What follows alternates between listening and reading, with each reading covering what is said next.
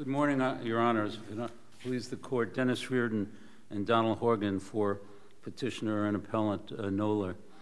Last Friday, the New York Times ran an article that discussed the scathing criticism directed at the Venezuelan government by the UN High Commissioner for Human Rights, as well as our own government, over the 13 year sentence handed down to Venezuelan opposition leader Leopoldo Lopez after a trial in which Lopez's lawyers were not permitted to present evidence or witnesses on their client's behalf. It should be the case that such a shackling of defense counsel could never occur in our state or federal courts because the right to the assistance of counsel at every critical stage of a trial is enshrined in the Sixth Amendment to the Constitution. Yet in this case, Ms. Knoller's trial counsel was threatened with removal from the courtroom and then, remarkably, with incarceration in a holding cell during what, from her client's point of view, was the most critical stage of all the stages of a trial the prosecution's rebuttal argument to the jury. Counsel, uh, we're here on habeas, correct? Indeed, Your Honor. And so, in order for you to get relief, the state court decision would have had to be contrary to or an unreasonable application of clearly established Supreme Court law. Do you agree? Uh, I, the, the, yes, Your Honor. Okay, so what is the clearly established Supreme Court case that you're saying um, was inappropriately interpreted by the state court in this case? Well, the, the clearly established uh, Supreme Court law is that you were entitled to the assistance of counsel at every critical stage of a trial. So, are you talking Cronic? I'm talking Geders, uh, which preceded Cronic. I'm talking v- Mickens versus Taylor. That statement has been made again and again. Now, what is true, Your Honor, what is true is that, and, and this is uh, uh, one of the uh, dangers of the government's position is that there has never been a case in which a judge said, if you get up to, uh, to object at all during this case, uh, uh I'm going to have a marshal or bailiff beat you with a rubber truncheon. Um, the, the fact that something so extreme has never reached the Supreme Court does not mean that the general principle that that denies the defendant the assistance of counsel during cross examination can't be reached by a federal court. In this, uh, could you narrow it? I mean, there's a lot of argument, of course, over the footnote in Cronic and others. Mm-hmm. What we have here is a portion of the rebuttal argument, um, after which defense counsel may have reasonably assumed she ought not get up based on the um, direction of the court. So when you have a, a portion of the final rebuttal and then there's the state court saying, well, that doesn't mean that there was complete denial and everyone can argue over footnote 25. How do you fit that in to clearly establish federal law? That's, our, that's really our first hurdle. Well, the, I think the question, one, clearly established federal law has a couple of, uh, you could break it down. One would be, as the court just described, was this portion of the closing argument a, uh, a critical stage of the trial. Bell says that a critical stage of a trial is a stage that has significant consequences for the defendant. And, Your Honor, this is the last thing uh, what, what occurred during that portion when she was gagged by the court, threatened with jail in, in, in, in a remarkable uh, directive to counsel, was that uh, the prosecution said, Look, this is the last thing I'm going to say to you. The last thing is breathe in every breath as she breathed in, a clear violation of, of the golden rule. That was arguably the most significant thing that transpired during the closing argument. But, but even if, if I were to agree with you on that question, isn't the largest boulder you've got to push up the hill the harmlessness determination?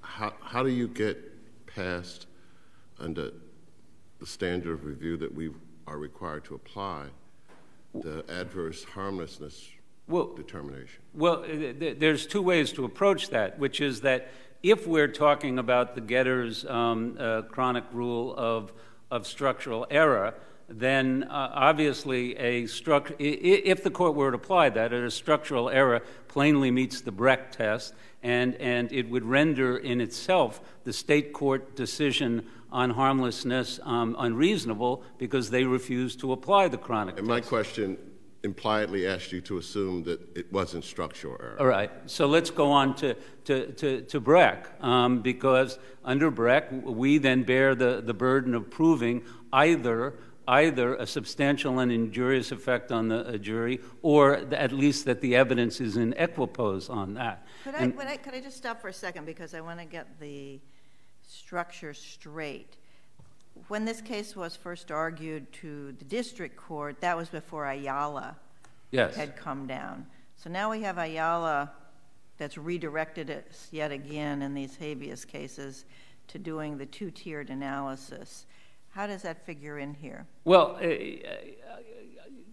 you know, as, as was pointed out by Justice Sotomayor, I mean, if you have proven that there's a substantial injurious effect on the jury, you really have already proven because it subsumes the other test that a I finding know, that. I, I know she said that, but the, the question is that we now are supposed to do the double layer analysis. fi- fi- fair enough, fair enough. So let's do it this way. Let, let's talk about the unreasonability of the state court um, uh, decision on harmlessness, and then talk about Brecht. Was, was, the, uh, was the state court, do, does this court have a basis on which to find that the state court judgment that, uh, that this was uh, harmless was, um, was unreasonable? Uh, as, as Judge Tigar pointed out, the state court turned somersaults. It was blatantly intellectually dishonest when it said that, in fact, there was really no uh, error here at all, because of course counsel would know that when a judge says, I'll throw you in jail if you open your mouth, he's really saying, go ahead, make any objection you want as long as it's appropriate.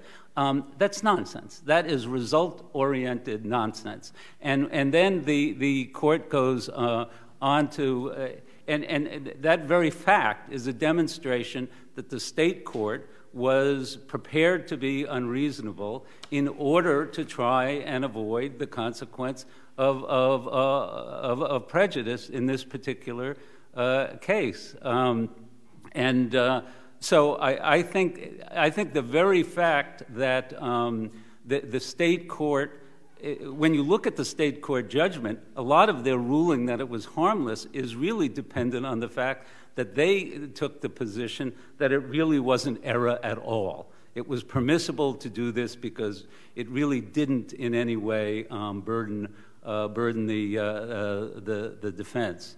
Um, Not that, that it didn't burden the defense, it's whether or not the uh, defendant was completely deprived of the assistance of counsel. That's the difficulty I'm having with your argument is, uh, as Frost versus Glebe says, there has to be a complete deprivation, Well, right? uh, Frost versus Glebe dealt with a situation in which someone was uh, allowed to argue, uh, the counsel was fully allowed to argue that they should present an alternate defense. They gave a full argument. They were able to preserve the notion that there was a legal ruling that the defense wasn't appropriate. Um, you, But it was kind of analogous to this case in that the defense was not permitted to argue as fully as the defense thought was appropriate in closing. And But, we're talking, eh, Your Honor, let's, let's, let's, let's look at this. We are talking about a state trial court judge who threatened, without any basis at all, without any basis at all, a defense counsel with jail for making an absolutely appropriate objection, misstates the evidence, which he permitted, an objection that he permitted the prosecution to make. You know, the, the, very, I mean, it displays the partisanship that absolutely characterized this prosecution from beginning to end until, in fact, Judge Warren, I think, on the new trial motion, having reviewed all of the evidence, realized that this simply was not, uh, not a murder case. Um, but I, do submit that the, the uh, state court uh, judgment, in, in finding that none of this was really inappropriate at all, then, of course, the harmlessness uh, uh, ruling becomes easy. Um, uh, and, and you know, if you look at the state court's uh, uh, you know, dismissal of the golden rule objection, uh, compared with the subsequent de- decision by different judges on the same court in the Vance case about the powerful prejudice of this kind of argument. I think you're talking about an unreasonable determination uh, when this is the final thing that is said in, in closing. And, and uh, let me just also point this out.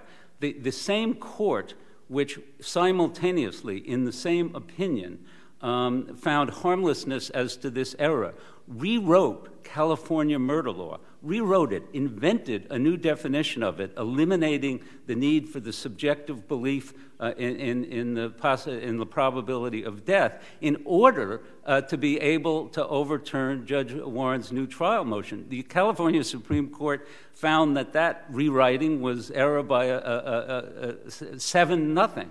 Um, this was a result oriented court. I think that we go on to the Brecht test here and say, in a situation, and, and let's, let's uh, all, all of the members of this court have either presided over or reviewed uh, countless transcripts.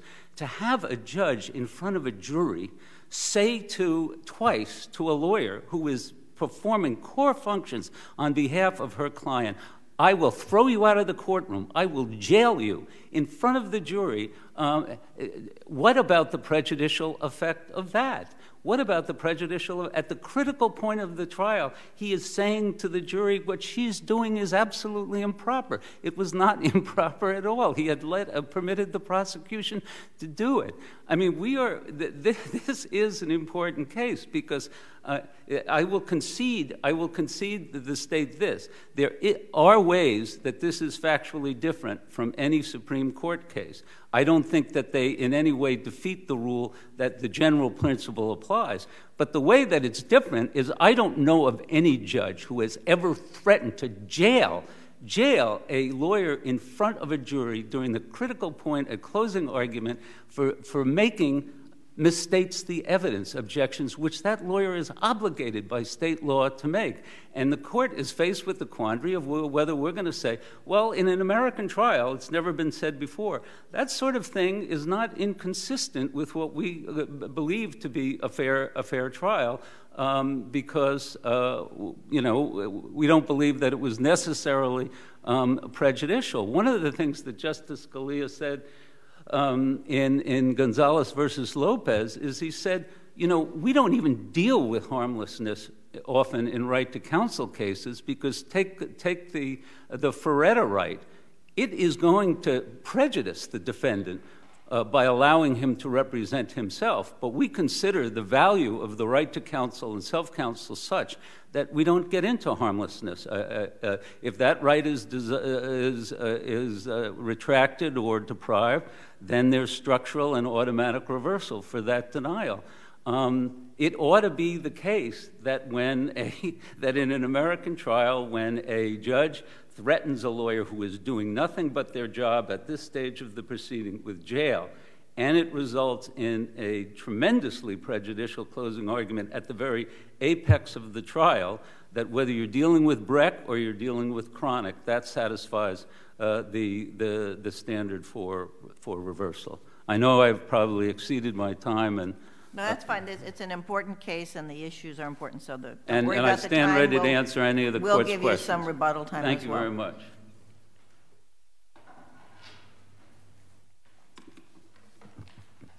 May it please the court, Peggy Ruffra from the Attorney General's Office for Respondent. Your Honor, it's our position that the state court reasonably concluded both that any limitation on counsel's right to object during the limited portion of closing argument was not structural error and that that error was harmless. Uh, Are you conceding error? I'm sorry? Are you conceding error? The state court found that there was error. Okay. Yes. And so, so you agree with that? We're defending the state court's uh, judgment, and they did fa- find error, but went on to find that it was not structural and that it was harmless. And it's our position that that was reasonable. Um, first of all, the petitioner argues that this one phrase in Cronic, that, that's really what they're focusing on, this footnote 25, that says that if you're prevented from assisting the accused, that that clearly established a bright line rule that any interference with counsel's assistance, however brief or slight, requires per se reversal. and that no reasonable jurist could possibly interpret that footnote in any other manner. However, as the state court held in this case, it conducted a thorough review of all of the Supreme Court cases as well as cases from other jurisdictions. And the California court said, We find no case that has held that limiting counsel's to ability to object during a portion of closing argument is structural error. And I think that's the, the critical finding for this court here today. There's no Supreme Court cases at all about limiting uh, objections, period, much less limiting objections during a portion of closing argument. So that rule in Cronic, that footnote in Cronic, is much too general to clearly establish the kind of rule that is required under AEDPA. In addition, every Supreme Court case that has been decided since Cronic has made it clear that that statement applies to the complete deprivation of counsel. They've said that over and over in all of those cases. Um, as this court held in Woodford versus Visciotti, this court said Cronic and its progeny have made clear that this exception is limited to the complete denial of counsel. And I think that limitation is, is particularly appropriate when you're considering the scope of structural error. The Supreme Court has repeatedly cautioned that that should be rare. Uh, in Florida versus Nixon, the Supreme Court specifically said that Cronic should be a narrow exception and that it should be construed narrowly. And I think if you were to adopt the petitioner's uh, approach, that would, uh, by contrast, require the court to read Cronic in the broadest possible manner, and it would result in many cases being reversed uh, automatically without a consideration of whether the error was harmless. For example, if the trial court were to uh, erroneously overrule a defense attorney's hearsay objection and, and evidence came in, a court could view that as preventing the right to assist the accused and consider that to be structural error. So this would this you know, would constitute. Sometimes Judge Rawlinson asked you, "Do you concede?"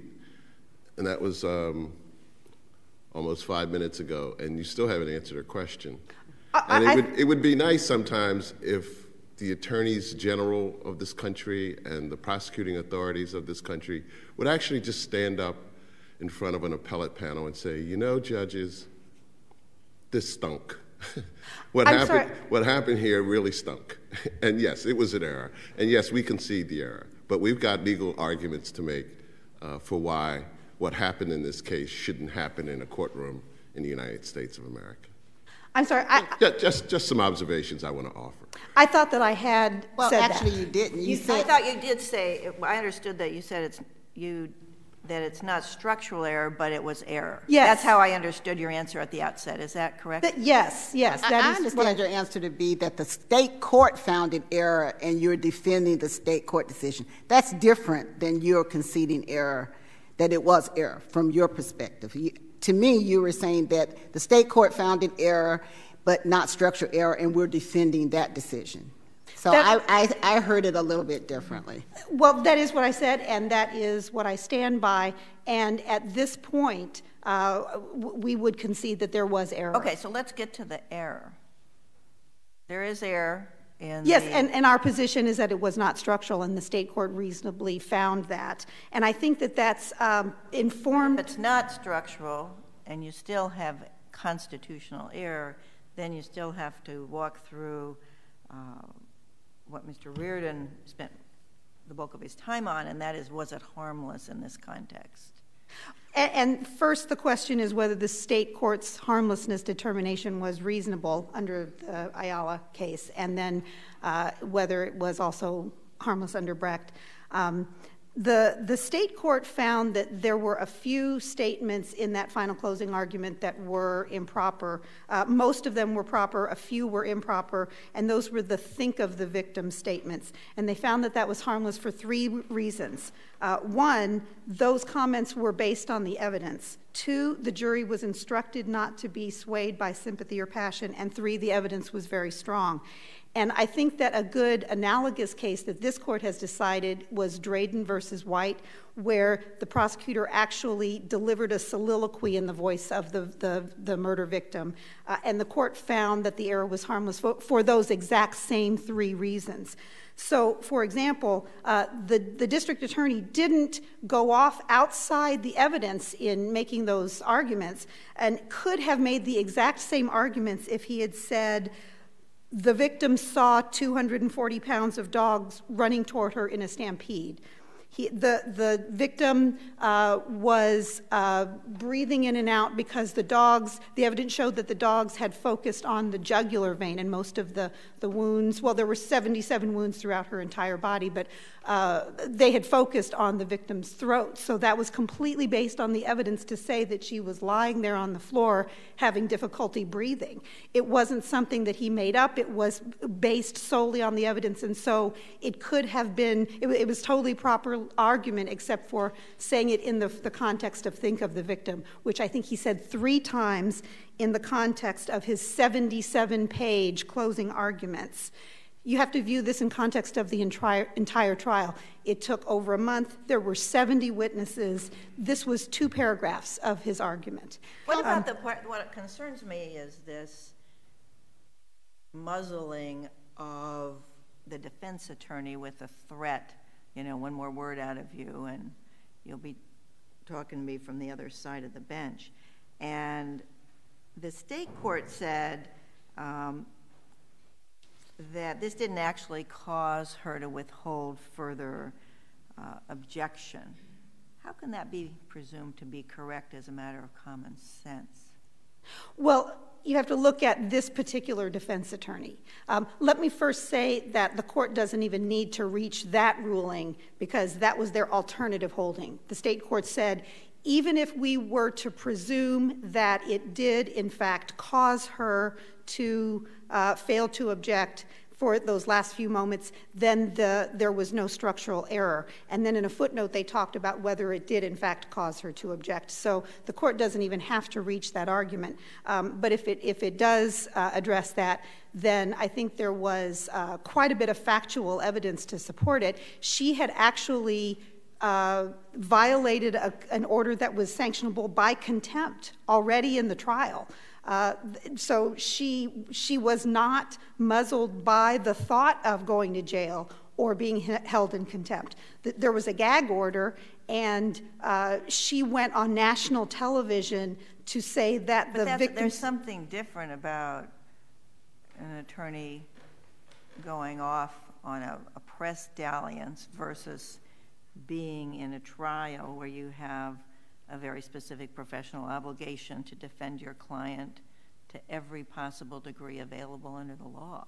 So, I mean, I, I don't know why it's sort of like she sinned once, so it's no big deal. She could sin again, is sort of the argument. That doesn't, I don't think, get the state out of its box, does it? Well, she sinned many times, um, but the, the trial court said, he, he went out of his way to say, based on my own personal observations uh, after experiencing Ms. Ruiz throughout this entire month long trial, he said, I don't believe that this actually caused her to fail to object. So I wasn't there, he was. That was his factual determination uh, about her motivation. Uh, that's why it's presumed correct under the, the uh, standard of review. Um, and, and it is supported because of all of these other instances. That's the point that that we're making. Um, but to get back to the, the harmlessness argument, um, the, the final point that I would like to make is that the evidence in this case was very strong. And the petitioner keeps making the same argument that was rejected by the state courts about what is required for second degree murder implied malice under California law. It's literally the verbatim argument that he made in the California Supreme Court, which was rejected. And then when it back to, went back to the trial court on remand for resentencing and, and, to reconsider this case, she again specifically rejected that view of what is required. Um, the, the Court of Appeal specifically held that a prior death by the dogs is not necessary. You don't get a free death. And they analogized it to the near misses in uh, drunk driving cases, which is sufficient to show uh, conscious disregard for implied malice. Um, so we have the jury, the trial court on remand, the unanimous 2010 Court of Appeal opinion, and the district court all finding that there was very strong evidence uh, of implied malice in this case, which I think is it cannot be discounted. I mean, these dogs were huge, they were bred to be aggressive, they had never been trained. More than 30 witnesses testified that they had the dogs had bitten, lunged at, or attacked other people or dogs in Miss Knoller's presence. And this was just in the span of a few months. The So, dogs. If, if I understand your argument, you're, seems to me quite appropriately arguing that on a sort of a sliding scale uh, approach, the stronger the evidence of guilt, including the element of implied malice, uh, the greater tolerance for error um, there is in the, in the proceedings. So if it's a weak case with error that is constitutional error, then maybe you say it's not harmless, but if it's a really strong case, even a constitutional error should not be deemed to be anything other than harmless. Is, Yes, is that a fair Yes, sort I of think that's exactly right, and I think there's many, many cases that say that. Um, it, it means that there wasn't a substantial. But you, but you don't mean to suggest that even the strongest case, um, there couldn't be error of a constitutional magnitude that would require a new trial? Well, it's a case by case basis. Case by case, Yes. Um, and in this case, what I'm saying is that the evidence of implied malice was extremely strong. And so the, the fact that the prosecutor said three or four times, think of the victim, based on evidence that was completely in the record, that wasn't what was going to make a difference in this trial. You given don't, you don't argue, do you, that um, the judge would have overruled any objection that actually came to the rebuttal? You, you don't make that argument. Um, I think that's a little bit unclear. I mean, the, the, the argument, the, the second objection in particular, the defense attorney simply said, objection, and then she said the dogs were always on leash. So that's not a proper objection, and she, she was simply arguing her view of the evidence while the prosecutor was giving the closing argument. Okay, but, I, but I mean, don't think that's proper. You, you don't, you don't, you haven't argued that part of the, um, the zeitgeist, if you will, of the case is that the judge, having sat through the trial and interacted with counsel over many, many court sessions, um, part of the harmlessness calculus is that the judge would not have sustained any objection that would have been made. And therefore, even though you know, you can argue about whether she kept, stayed in her seat as a result of his threat. The fact of the matter is, it wouldn't have had an impact on, on his ruling had she objected.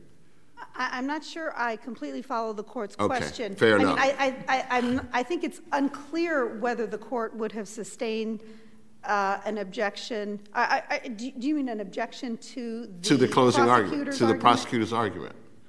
Uh, that probably would have been Speculative. sustained. But in any event, I think you would agree that this, you know, the golden rule, the put yourself in the Yes.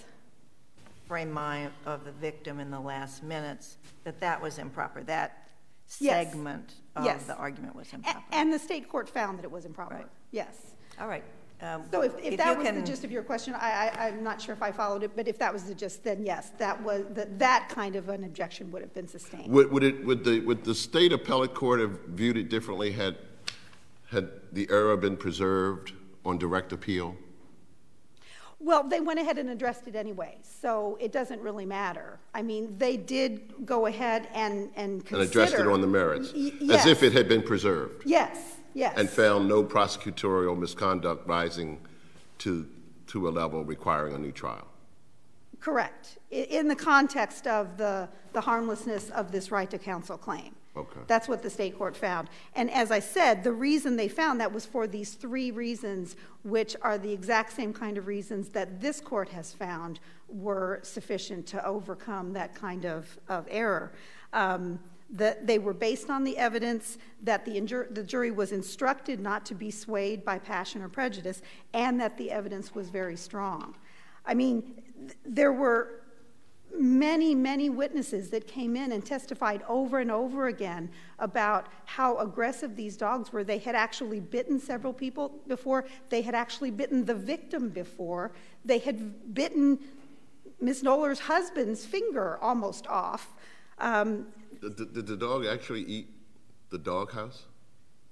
Uh, the, the, evidence was that the dog had eaten the doghouse, that he had killed, or one of the two, I don't know, remember if it was the male or the female, they had killed sheep, they had killed a cat.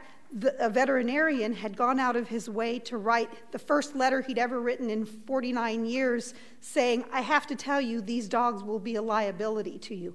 And they brought the dogs to their San Francisco apartment building and they proceeded to wreak havoc on the residents of that area for the next few months. And, and, and what I was about to say was that uh, they brought the dogs, I think it was in April and August, and the death happened in January. So all of this massive amount of evidence of attack after attack happened in just a few months. And we've given you quite a bit of extra time, and of course, yes. I wanted to give Mr. Reardon he took extra time as well. So yes. if you could wrap it up unless there's further questions. Thank you. Thank you, Your Honor. Could you please um, put uh, two minutes on the clock for rebuttal? The, this, the state has misstated something. The state court, and this is a, a sign of how unreasonable it was, did not find any error as far as the judge's conduct was concerned. It said the closing argument was improper and, the reason it found no error is just proof of how result oriented it was. It said it was okay for the judge to threaten jail because um, the, his earlier threat of removing from the courtroom had not been heeded. Well, the earlier threat was an absolute abuse of power. All Ms. Uh, Ruiz did then was say, objection, misstates the evidence, and he threatened to, to take her out of the courtroom. The notion that you can justify threatening her with jail because of an absolutely abusive threat to remove her from the courtroom for a standard objection, and, and, and the prosecution certainly made stand, uh, uh speaking objections, is just, uh, it is just a demonstration of, of how weak the case, uh, uh, how, how irrational they were. Let's get to, the, to the, the evidence in one minute. Let's be clear. The evidence of criminal negligence in this case was overwhelming. Um, Mr. Noel, who was the most culpable, and Miss Knoller deserved their con- uh, convictions for involuntary manslaughter. Any reasonable person uh, would not have engaged in this conduct. But, as the Supreme Court said in the Knoller case, in order to be guilty of murder, Marjorie Knoller had to walk out, to walk that dog, thinking subjectively in her head, not what a reasonable person. She had to think, I could kill somebody on this walk and I don't care. That's what implied malice is. Judge Warren, and, and the, the, the state has vouched for him, said, I saw her testimony, and when she said, I never thought, that this could have happened. He, the trial judge, the only one who observed her testimony, I believed her. That means she was not guilty of. There were 12 others who observed her testimony. Uh, uh, indeed. But, but the point that I'm saying is, is not that. Uh, we, this court doesn't adjudicate guilt or innocence, but, but the claim that this was a strong case or an airtight case for implied malice murder as opposed to involuntary manslaughter is simply uh, without basis. Thank you very much, Your Honors. Thank you. Thank both counsel for your arguments this morning. The case of Knoller versus Miller is submitted.